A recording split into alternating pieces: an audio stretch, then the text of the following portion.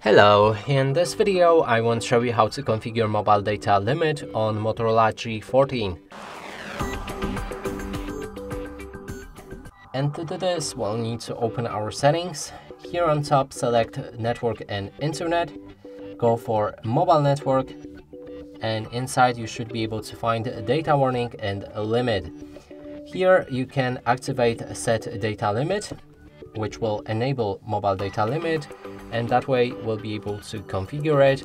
You can change the amount of a limit with megabytes and gigabytes. Keep in mind that 1000 megabytes is 1 gigabyte.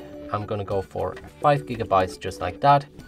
Then we can activate or deactivate set data warning and change when we will receive it.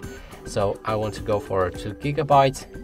There's also option to change mobile data usage cycle and uh, this will reset your limit on uh, each specific day of the month.